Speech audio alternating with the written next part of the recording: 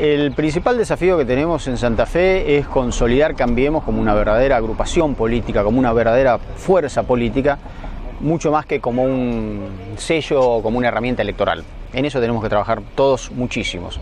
Y no me cabe ninguna duda de que le vamos a hacer la mejor oferta electoral a los santafesinos. Tenemos muchos y buenos dirigentes para cubrir distintos puestos.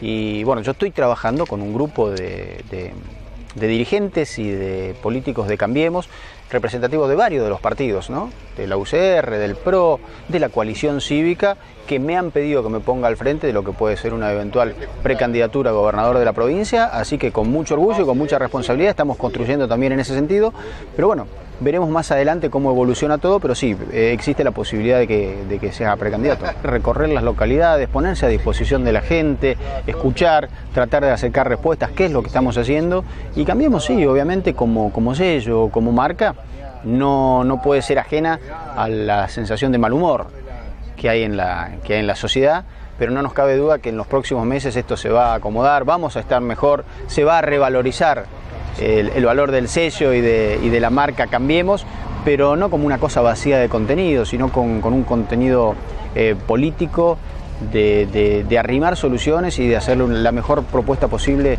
en términos de oferta electoral a todos los santafesinos. Hay muchos y buenos dirigentes para poder completar todos los espacios y estamos trabajando para eso.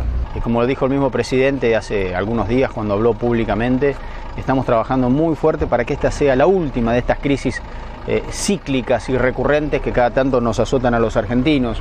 Pero son, son crisis que, históricamente se, se, basan en dos, dos causas. Uno es el déficit. La Argentina es un país acostumbrado a gastar más de lo que tiene.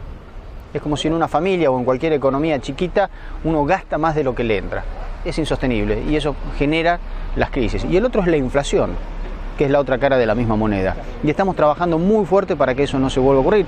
Por eso se ha generado un gran consenso con la oposición, con los amplios sectores de la oposición y con los gobernadores para ir definitivamente a un presupuesto de cuentas equilibradas, a un presupuesto de déficit cero en el 2019. Y eso implica medidas duras medidas difíciles, medidas antipáticas, decididamente antidemagógicas, pero que entendemos que es el remedio que hoy la Argentina necesita para reacomodarse una vez por todas y empezar a crecer con desarrollo, con equidad y con inclusión para todos.